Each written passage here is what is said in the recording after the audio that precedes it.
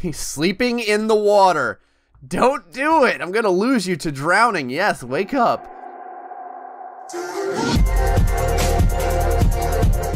Hello everybody, Gray still plays and we're back with more Tyto Ecology. No time for BS. Today, we're over here back in the rainforest and I wanted to do this for a couple of reasons. One, I wanted to get to see the map, see how the water has changed in this particular zone. You can actually see it kind of flowing down the stream here. That's really nice.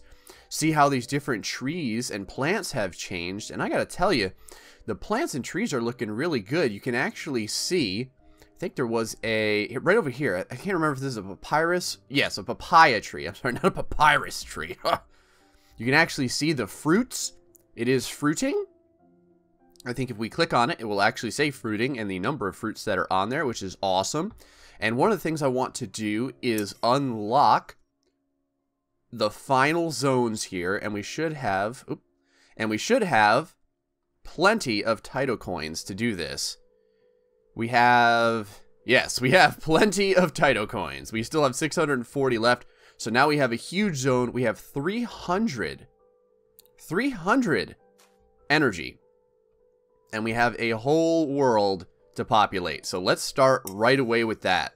Now, I'd like to go through here real quick and just kind of see if there's any new plants or anything. And it, I don't think that there is, but it's always good to just double check because you never know they could end up slipping something by me. Not that I would have a problem with that in any way, shape, or form. Doesn't look like there is.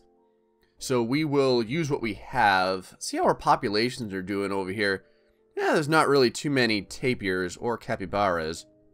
And I think that the armadillos are even getting a little a little lessened these days in the populace. Question is, do I want to go this way or this way? I think we're going to go to the left. That seems to be what I'm doing with my other zone, and it's working out just fine. So I'll continue to do that here. One of the things I do want to make sure to do, though, is we want to make sure to put down some additional critters so that there's always plenty to go around. Put down some of these guys. A couple of tortoises right over here by the water line. I'm sure they would enjoy getting wet every once in a while. These little mice-like dudes right over here. There we are.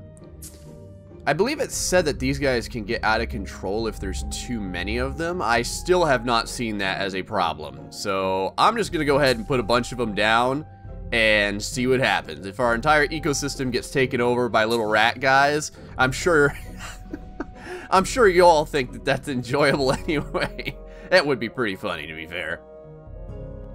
Agoutis climbing up the kapok trees, taking them down to the ground, gnawing on everything in sight, breaking through, breaking through the barriers, busting through the walls here. Why not? Don't let don't let me tell you how to live your life, Agouti. Go. Go forth and prosper. Alright, let's get some more plants. And let's make sure that we get some of these butterflies. Now, let's take a look at these butterflies with the new textures. Ooh. Hold on. Get right around here. Take a look at them from this side. And if you, I think if I we looked at the underside of the wings, let me see if I can get down here low enough. You can actually see how cool that looks. It almost looks like um, like a starry sky or something under the wings. Quite interesting. Oh, we got something going on here. What is this? Is he just running to run? Oh no. Did that did he did he fall asleep or... Alright, he looks like he's fine. So I guess he's just wanting to head to the wall and stretch a little bit. No big deal. Back over here to our plant types. I do like these papaya trees. And so do everyone else, it seems. They've got plenty to eat. A couple of pineapples over here as well. And... Yeah, a strangler fig is probably pretty good as long as I can actually set it down. Let's see if I can get this into a decent spot. Right about over here should be fine. There we are. Oh, let's go ahead and speed up. I always forget to do that. We want to make sure that we're regenerating energy as quickly and efficiently as possible. We do have some mushrooms over here, so we can keep those. We can keep those. And we actually have quite a bit of earthworms over here, too. Oh! Got a tapir running around over there. See if I can put some frogs over here by this water line. There we go. And, eh, more armadillos. Can never have enough armadillos. Right? Appear, armadillos, go forth and prosper in this beautiful, wondrous rainforest that we have created. Some ants, too. I'd like to get some of those down. There's an ant pile over there. I'm going to put one kind of over here, I think. And we'll get some bigger critters over here, too. These marsh deer would probably be perfect as a bigger critter.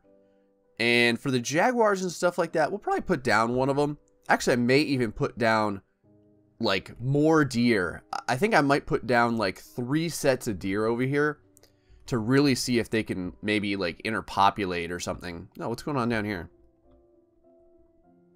Oh, they actually fall into the water now. If you remember originally, when a creature kind of walked across the water, he's sleeping in the water.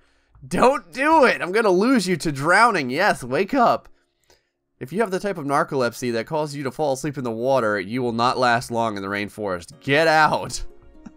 if you remember, the animals originally just kind of walked across the water as if though they were Moses.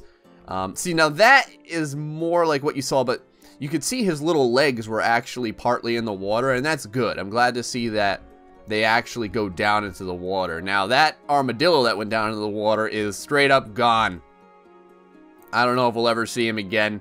Maybe he'll come out the other side, maybe not. More deer. Right here. Oh dear, there you go.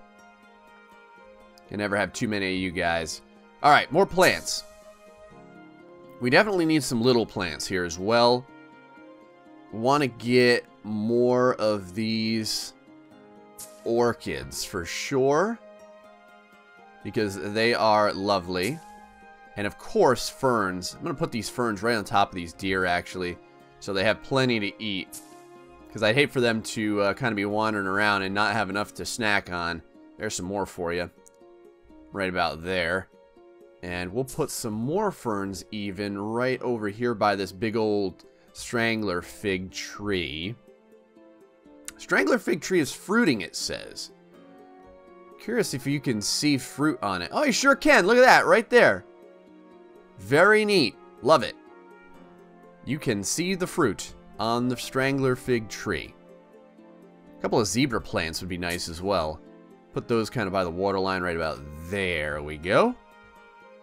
Halcyonis. Those are neat. Those are actually right in front of us. If we take a look, I wonder if I can get these set up anywhere. Right over there apparently is fine. Excellent. Oh, we've got a uh, Got a jaguar flowing around over here. Sounds like a new growl, actually. Much more realistic growl, too. Holy cow. About the jaguars for a second here. Jaguars are fierce predators. They are carnivores who eat nothing but meat. There are virtually no animals that a jaguar won't eat. Oh my god. Their strong jaws can even pierce tortoise shells and crocodile skin. Jaguar versus a crocodile, huh? Hmm. Jaguars are apex predators, which means that they have no natural enemies. Baby jaguars may fall prey to large carnivores, though this is uncommon. The biggest th threat to jaguars are human poachers. Jaguars are built for strength, not speed. Though they can run very quickly for short distances, they usually lie in wait for their prey and then leap out of hiding to take them by surprise. The jaguar usually kills its prey by biting the back of the neck or skull, instantly killing it. Even crocodiles are no match for a jaguar if they aren't expecting the attack. Cool! Holy cow! Notes, most jaguars have yellow coats with black spots. Some jaguars, however, are almost black with barely visible spots. This is called melanism and is fairly common in jaguars. Black jaguars are often mistaken and called black panthers, though this is incorrect. While melanism can occur in most warm-blooded animals, there has never been a recorded case of an actual melanistic panther. a black melanistic panther. That would be, I guess, redundant? I don't know. Well, we got uh, this little, this jaguar here is running. He's running. Running straight through all of the delicious meat. Alright, yes, don't touch my marsh deer. The marsh deer must continue. Must continue on. In fact, we're going to put one more marsh deer right here. Now. Now we've got quite a few marsh deer. Hopefully, they don't all get horribly, horribly slaughtered. Our health of our biome is not bad. It's 97. I think that's the average. I think it takes the average of your entire biome and it gives you kind of like this assigned amount. So 90, 90 7 for the average is not bad, I think, at all. This particular biome here is 98. So we're doing fine. As long as we keep it in the 90s, I think we're going to be just fine. Our Detritus level is at 1, so that's perfect. That's exactly what we want. I'm going to go ahead and put down an Ocelot over here. I don't mind having a little bit of a Predator around. And I guess since they're going to be over here, I'll put down some of these guys as well. About here and here, probably. This big old tapir is walking around. You know we don't have? We don't have any peccaries. Um, and I do want to get some of those down, actually. Probably right over here. You know what? Actually, closer right over here. There we go. Let's see what see how big these guys are. I'm kind of curious. Um, all right, they're about the size of the marsh deer. They're a little bit shorter, but obviously they're pretty gosh dang stocky. If we click on one, see what it has to say about it. Peccaries do not have very good eyesight, but have excellent hearing. They use different calls and their scent glands to identify and communicate with each other. Huh! Alright. In the wild, baby peccaries look very different from adults. While adults are grayish-brown with a white collar around their necks, babies are more orange or yellow color with a dark stripe down their back. This helps babies blend in and avoid predators from their most vulnerable years. I think I remember reading that somewhere, actually zoom out a little bit here and continue to put down some more plants for everyone. Think some trees would be nice. Let's go ahead and move over here. This little flame tree, now it's not like the biggest tree in the world, but it does have both fruit and leaves. So it's good pretty much all around for food. Go ahead and put one over here as well. Cast a little bit of shade for anyone that wants to use it and probably one right over here. Now let's go and get a big old tree up, and you remember what the biggest and the most powerful of all Amazon trees is. It is this kapok tree. I'd like to get one of those down. And that's what we'll be doing. Oh, is that a little frog hopping around right there? Yep, there he is. Taking a taking a a trek.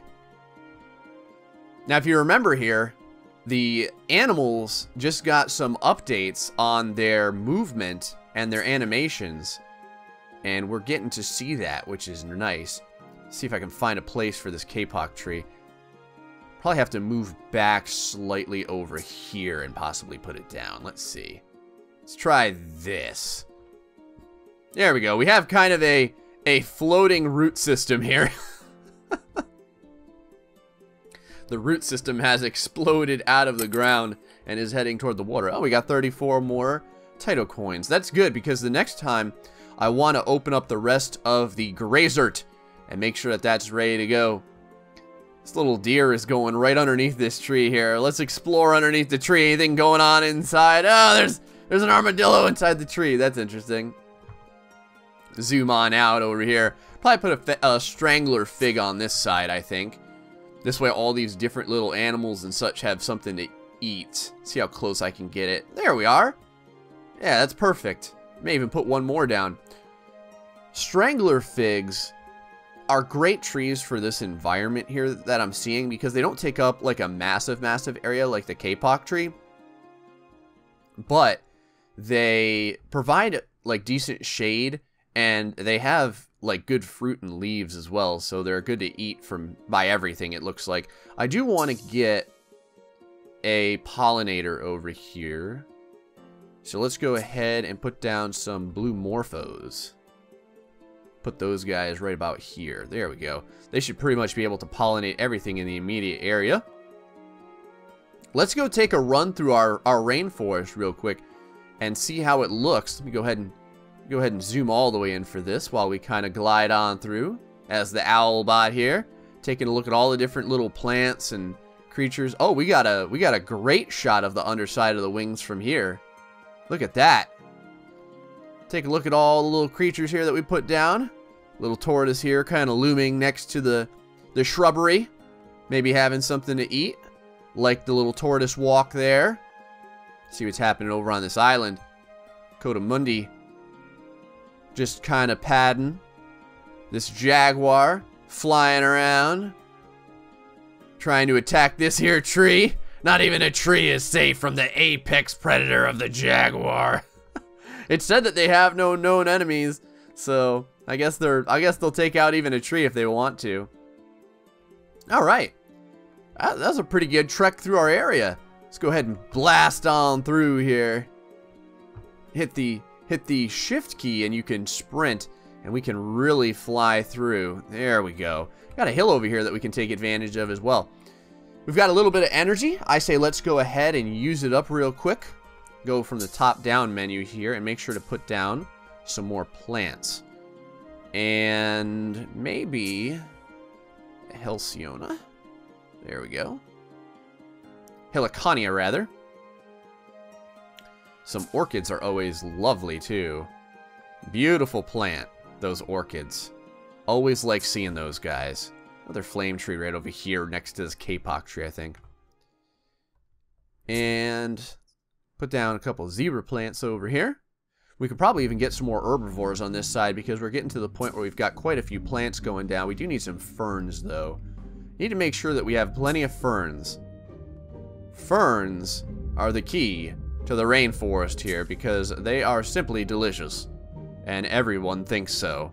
All of the animals having their their conferences at least once a month, or I don't know, maybe it's quarterly. They all get together and talk about how delicious the ferns are this time of year. I think some armadillos would be lovely. Drop those guys down. Happy little armadillo. I feel like the Bob Ross of Tyto Ecology. Uh, those of you who actually know who Bob Ross was, he was a painter who he did like painting tutorials for people. His his idea was that anyone can learn how to paint. And actually if you followed the instructions that he gave you, you could actually come out with some really neat stuff. I used to do it as a young kid. And he was the calmest, nicest painter and probably man in the world. He would be painting and he would be talking while he's painting and he was very spontaneous. And he was a kind of guy where he would say, you know, even if you made a mistake, you could turn it into something else. So he'd be like, all right, we're going to put down a, uh, a happy little tree right over here. Oh, yeah. That tree looks fantastic. Oh, our tree looks looks a little sideways. That's fine though because we can turn this tree into a happy little cloud. Oh, the cloud is casting a shadow, a shadow on all the happy little animals that's standing beneath it. That's kind of what he was like. He just had this really calm, soothing, guru style voice. And when you listen to it, you were like, wow, this guy's blood pressure must be like 1 over 2. All right. We are set. Our rainforest and the mist effect is super. Just, I love it. Our rainforest is looking great. In fact, you know what? We have a little bit more energy to use. I'm going to wrap this up here in a second, but since we have a little bit more energy, let's go ahead and take advantage, guys. There we go. We'll put one of those right over there. And, yep, I'll, you know what? I'll let us get to 15 real quick so I can put down one more set of ferns. There we go, guys. Hope you're enjoying Tyto Ecology so far. I will see you next time. Until then, stay foxy and much love.